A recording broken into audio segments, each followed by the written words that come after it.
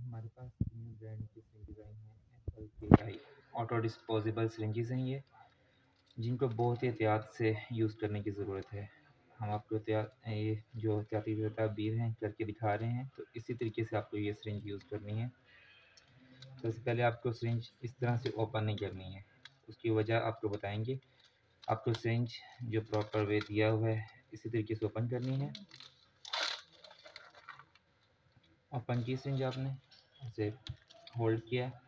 आप इसके दरमियान जो स्पेस देख रहे हैं, ये स्पेस इसमें रहनी ज़रूरी है। अगर इसका प्लंजर पूरा इसकी सरफेस के साथ अटैच हो गया तो ये सिरिंज ऑटो डिस्पोजेबल हो जाएगी, जो कि हमें नहीं करनी। आप जो भी करना है, आपको सैंपल लेना है ब्लड है ब्लड सैंपल लेना है, या आपको कोई मेडिकेशन डाइल्यूशन में देनी है तो आप इसी तरीके से इसमें इसकी नीडर रिकैप करके और इसको आप करेंगे।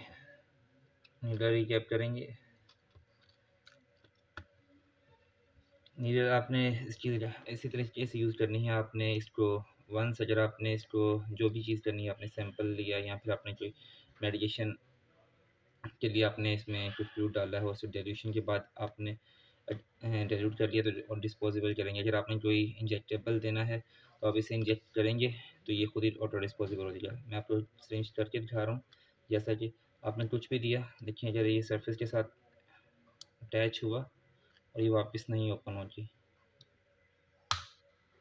ऑटो डिस्पोजिबल है, ये खुद ही ख़त्म हो जाएगी। तो आपने ये बहुत एहतियात से यूज़ करनी है इससे ज़्यादा एक्स्ट्रा चार्जेस नहीं बनाने पेशेंट के और बी केयरफुल